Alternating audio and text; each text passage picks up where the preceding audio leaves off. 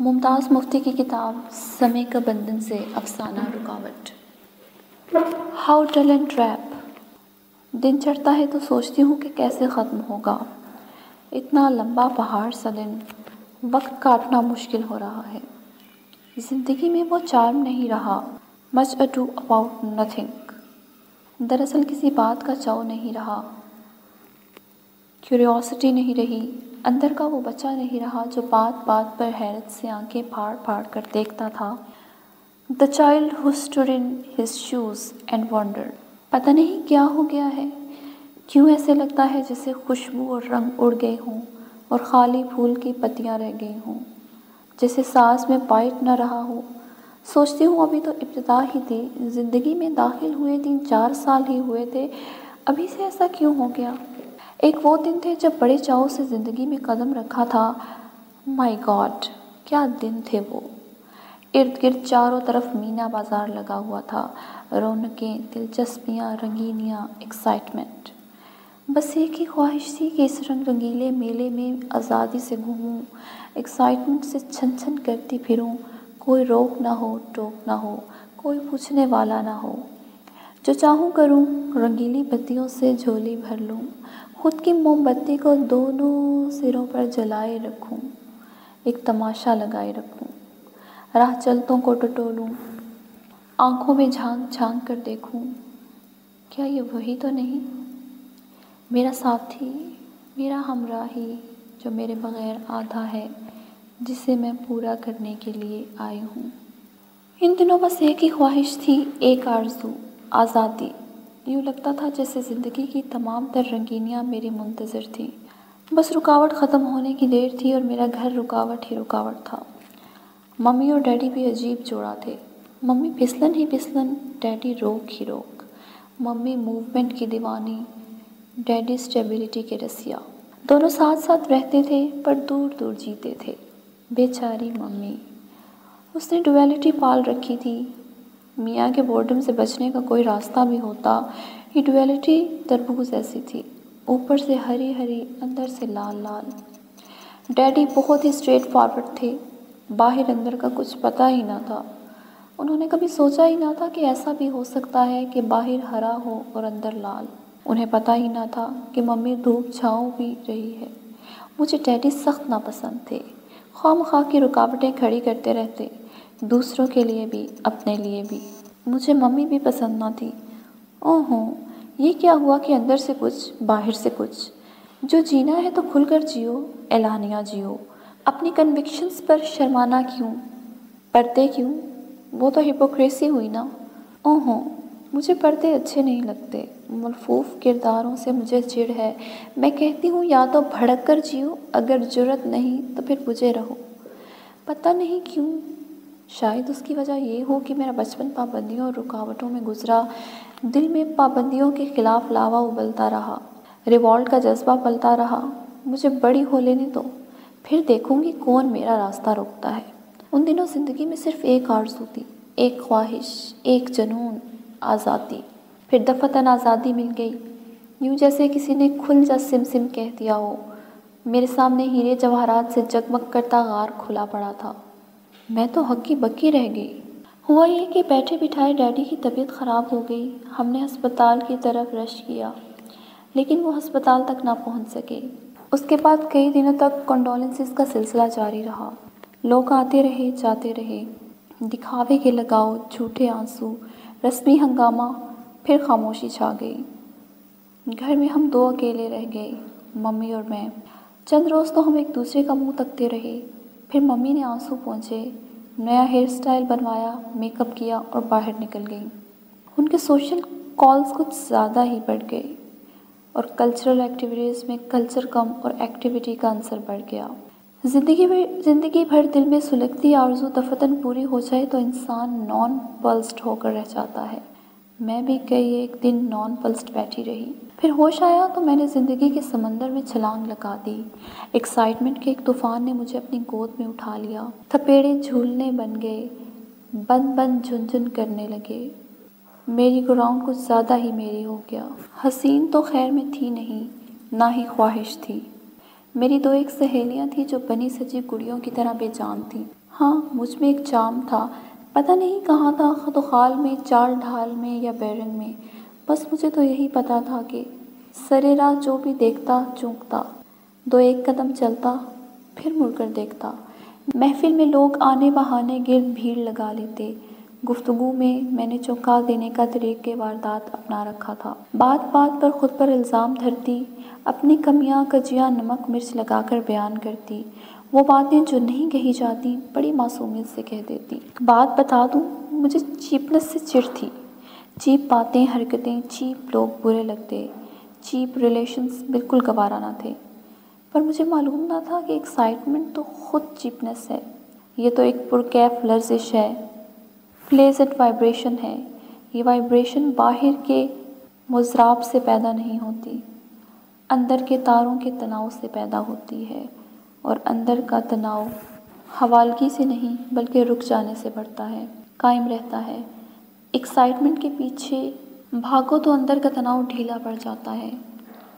جھن جھن میں وہ لذت نہیں رہتی، دور بھاگو تو بڑھتا ہے۔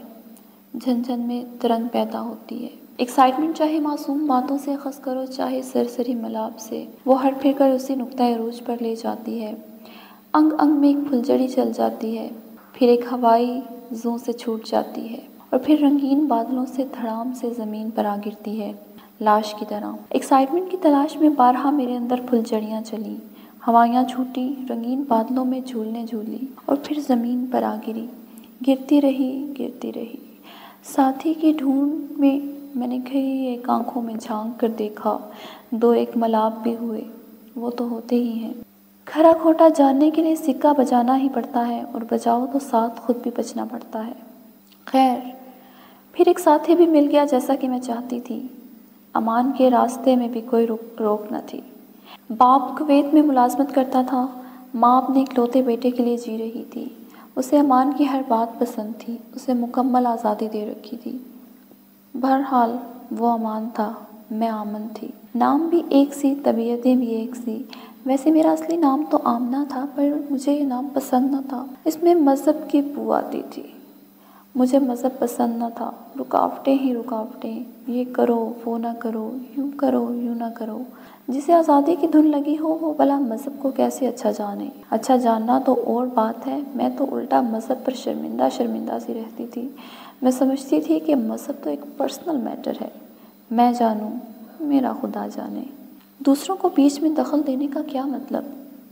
پھر یہ بھی تھا کہ آمنہ متبرک نام تھا۔ بچپن میں ہی جب لوگ مجھے آمنہ کہہ کر بلاتے تھے، تو میں محسوس کرتی تھی جیسے تبرک ہوں، اور تبرک تو خانقاہوں میں بنتے ہیں۔ مجھے خود سے مشک و کافور کی بو آنے لگی۔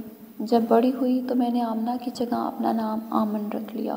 اس چھوٹی سی تبدیلی سے کتنا فرق پڑ گیا؟ نہ تبرک رہا، نہ خانقاہ رہی، اور نہ مشک و کافور کی بو۔ بالکل ہی سیکولر بن گئی۔ ہاں تو امان بھی میری طرح رکاوٹوں کا بیری تھا۔ قد بت اچھا رنگ کھلا کھلا اور آنکھیں۔ آنکھیں جیسے جھولنے ہوں، ایک نگاہ ڈالے تو جھولن لگو۔ اور پھر آنکھوں سے ایک فوار سی اڑتی جو بھگو دیتی۔ اتنی بھیگ اتنی بھیگ کہ ڈوب جاؤ۔ امان سے ملے تو ایسی بھیگی ایسی بھیگی کہ پروں میں اڑان ہی نہ رہی۔ اس پر مجھے بہت غصہ آیا۔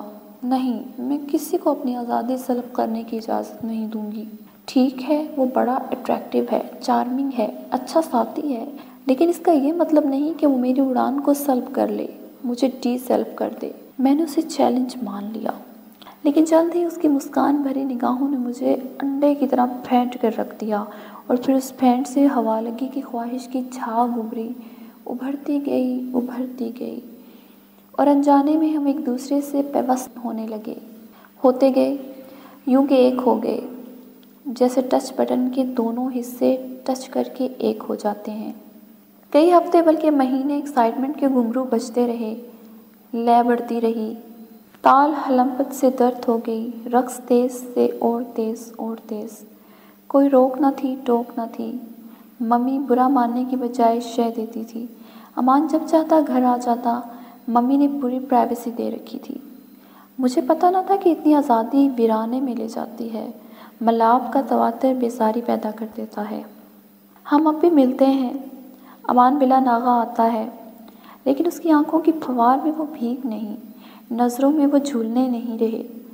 اس کی ہیلوں میں وہ والہانہ پن نہیں رہا۔ وہ ان بسات نہیں رہی۔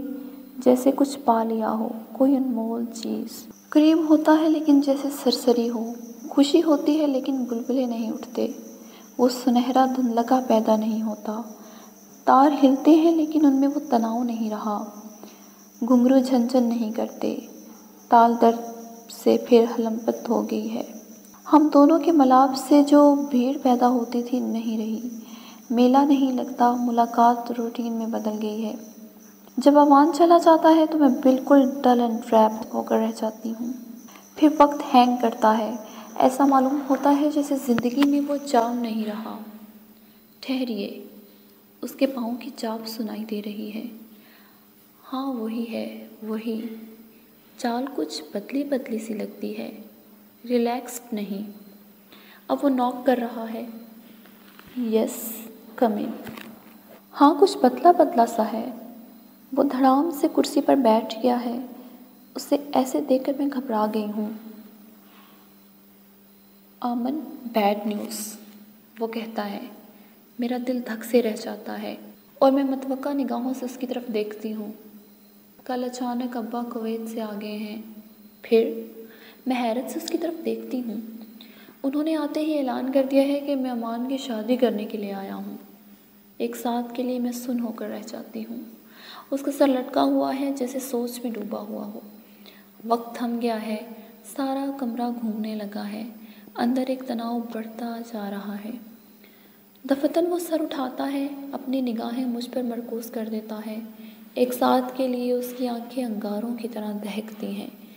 پھر وہ اٹھ بیٹھتا ہے۔ اس کی نگاہوں سے پھوار کا ایک طوفان ابھرتا ہے۔ وہی پھوار جو بھی کو کر رکھ دیتی ہے۔ اڑان کو سلب کر لیتی ہے۔ نہیں نہیں، وہ کہتا ہے، ایسا نہیں ہو سکتا، ایسا کبھی نہیں ہوگا۔ آمن کبھی نہیں۔ میرے اندر ایک بھیڑ سی لگ جاتی ہے، سانس لینا مشکل ہو جاتا ہے۔ مجھے خاموش دیکھ کر وہ چلاتا ہے۔